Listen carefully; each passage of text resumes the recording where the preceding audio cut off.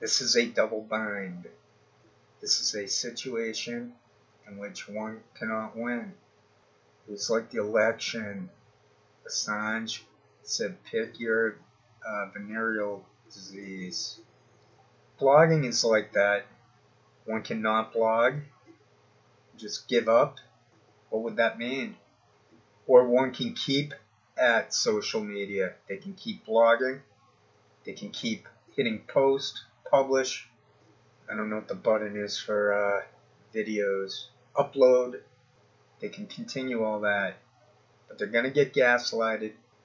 They're not going to get any page views. They're not going to get much or anything for algorithms. It's going to take tremendous luck for such a person to go viral or even modestly go viral. There's a cap. This is a system in which we're operating within it. Some of us feel that we're able to stay free within the game. We may be fooling ourselves. So a Catch 22, that was a book made into a movie. I don't really know much about it. I know the phrase double bind from Alan Watts.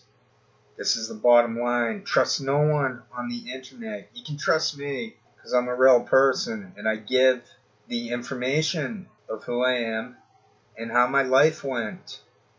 It may not be easy to find such materials because I'm not going to advertise it every single show. I'm not even going to advertise it that often.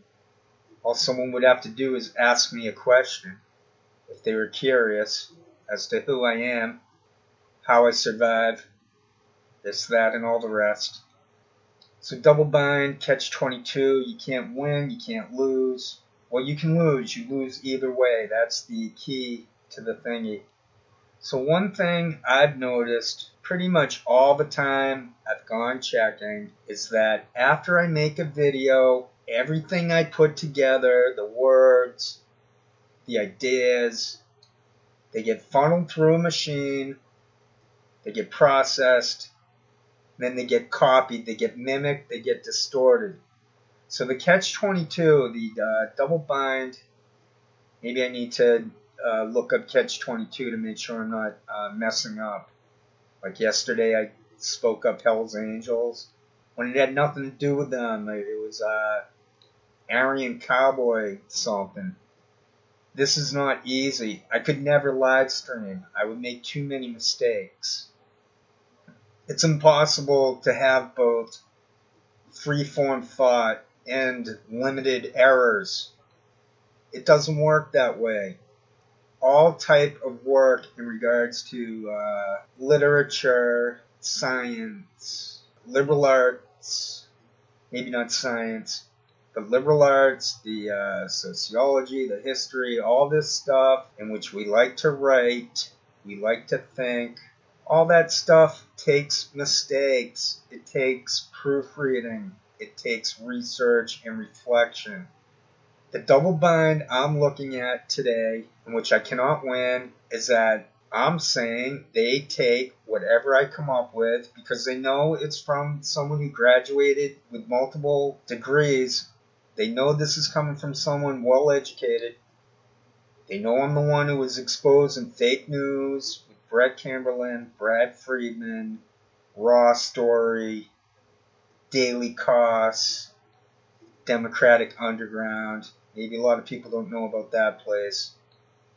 Democratic Underground was so bad that I don't even go there ever. I probably last visited that website five years ago and I don't even remember what it was I was looking at. I haven't been at Daily Kos in eons. I basically wake up, I look at uh, Daily Mail. I still have the ad blocker. I have to play that game I've mentioned before.